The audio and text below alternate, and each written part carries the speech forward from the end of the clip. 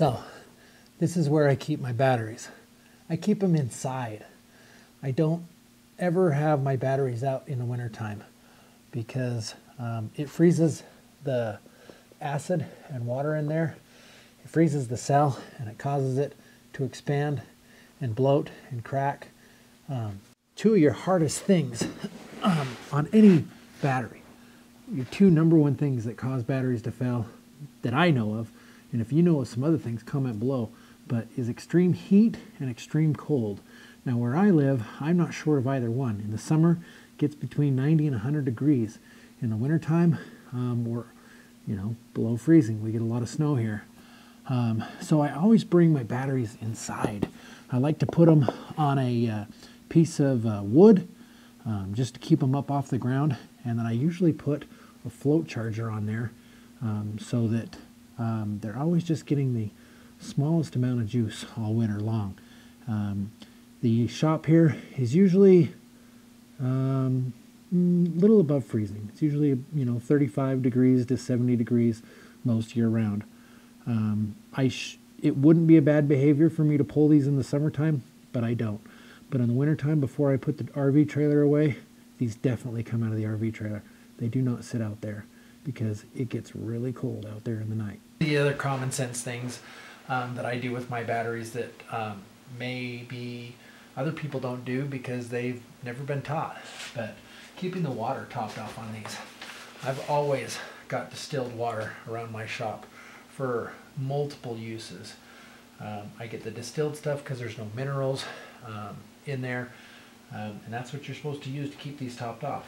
So I'm going to grab my funnel and my water and we're going to start topping these off, making sure that the water line is above the plates on the inside of this battery.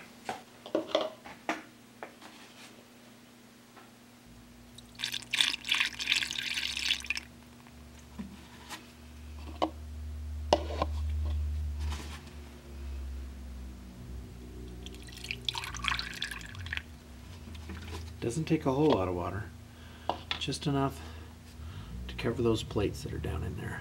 They're kind of hard to see but you just don't want those plates exposed. You can see this one's got you can see how the water's floating above those plates down in there. That's what you want.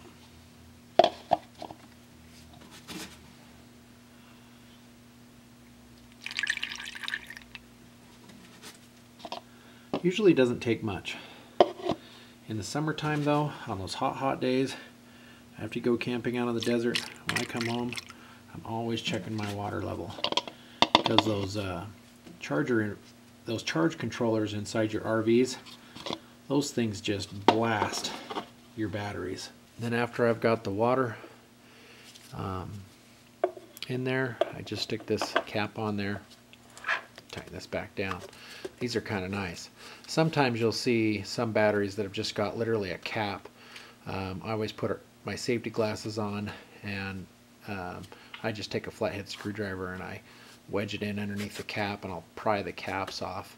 Um, those are also batteries um, that you can just like I said pop the caps off and um, put your water in there and then uh, carefully tap those caps back on. But the way they have this particular battery design done you just twist that and you pull that off. Makes it super nice for maintaining these after I get my um, batteries all topped off with distilled water um, and I've got them out of the bad weather, I like to put a uh, float charger on them. This is just a 12 volt, very low amperage float charger. I run my batteries in series.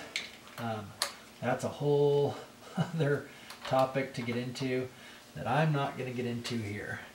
If you want to get into um, RV batteries, uh, 6 volt versus 12 volt, parallel versus uh, series.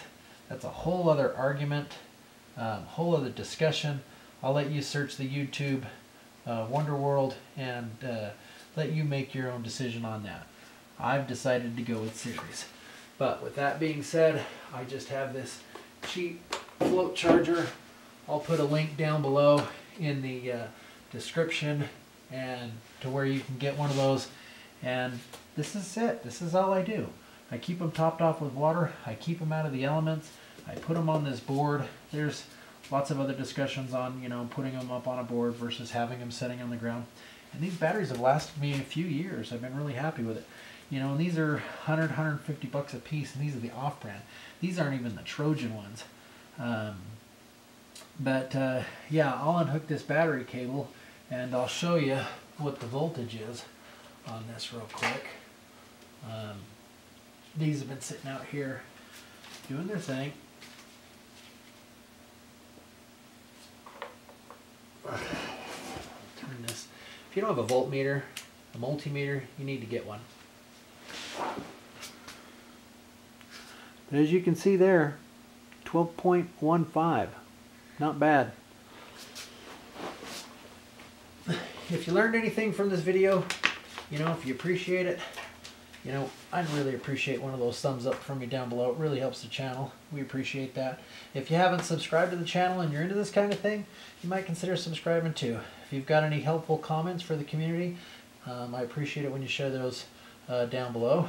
Um, if you want to be aggressive and hateful and non-constructive, uh, go ahead and uh, leave those below and I'll make sure to uh, delete them and uh, banish you from my channel. So, um, but like I said, if you've got constructive criticisms, those can be put down below in a kind enough way where you're not being a keyboard warrior or troll. So, with that being said, we appreciate you watching and uh, we'll see you out on the road in your RV, I hope. Thanks again.